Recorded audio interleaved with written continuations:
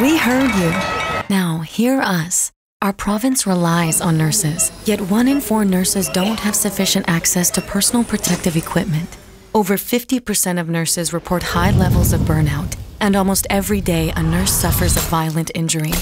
We need a healthcare system that prioritizes the safety of our nurses and patients. It's time to take care of those who take care of you. Take action at bcnu.org.